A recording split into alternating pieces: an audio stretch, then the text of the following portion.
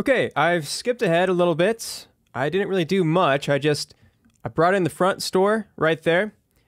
I called it front store. This is everything except for the tent. And then we have back store, which is just the merchant tent.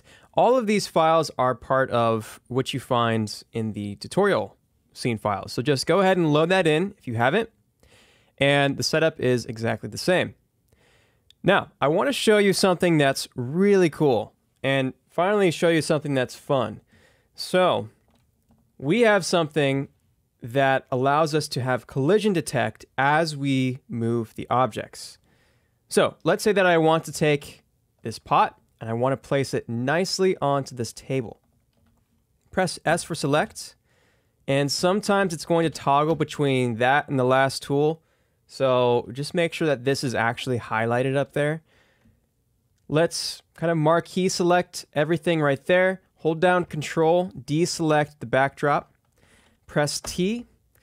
And sometimes, well, okay, see that? It didn't work right there. Why? Because I had this backstore highlighted. So, I know that was kind of a buzzkill, but make sure that whatever the last note is, that is what's highlighted. Let's try that again. S for select, go like that. T, and you don't see anything.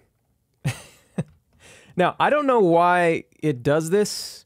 I mean, I'm a very simple 3D artist, and so um, and so when I press T for transform, you know, I kind of hope for a transform tool. If that doesn't happen, press escape and then press T again, and then it shows up.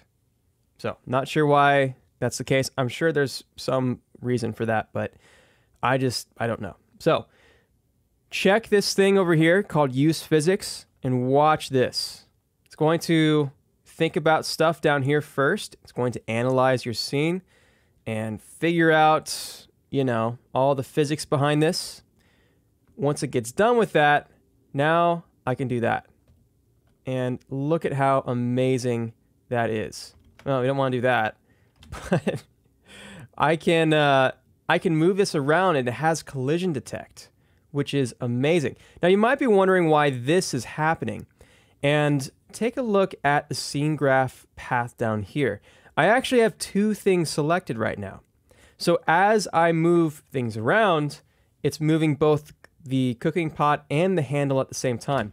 A better way of doing that is by clicking this topmost cooking pots asset. And now, as you can see, we are actually just moving the whole asset. And as you can see right now, it's still buggy. I mean, this whole thing is, again, just released. So I imagine that over time this will be improved. But, you know, for right now, just know that that's uh, pretty buggy. If you select the two meshes though, this usually gets you a better results. I don't know why it's not able to go up like that. But, um, but anyway, it probably works better for something like this book. So let's just select the book T for transform. Again, we don't see anything for some reason. So escape, T, use physics. And I imagine it'll work better for this book. Let's let's cross our fingers, see what happens. Okay, so we have that. And yes, see, as you can see, this is way better. Now, for some reason, again, it's not going to go up. We can try to turn on this draw simulation geometry and see what this is seeing when it comes to the actual SimGeo. From what I can tell, I mean, at least in this view, it doesn't seem like there's anything that should be giving it issues. So, yeah, like I said, I I don't really know, but um, but even when it's just a little bit buggy like that, it's still extremely useful. If you've ever spent hours and hours just trying to get something you know many objects to align nicely with another object, then uh, you'll realize how big of a deal this kind of tool is. So sad to say right now, it doesn't. It's pretty buggy, but I'm sure in the future this will be resolved because the guys at Side Effects are awesome. So there you go. That is how you would go about that. And uh, I think that's about it for this main tutorial. Let me actually show you a couple more things and then we'll move on. And I was going to show you this idea of right-clicking and changing the variants in the viewport, but it looks like I can't see that menu, or maybe it's changed or something like that.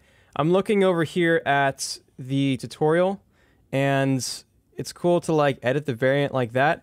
I can't seem to find that menu for some reason. So maybe that's another thing in the future that might change. But anyway, I know this whole lesson has been a bit of a, a buzzkill. It's still a great feature. I'm really excited for them to just kind of work out the details on that. And um, there you go.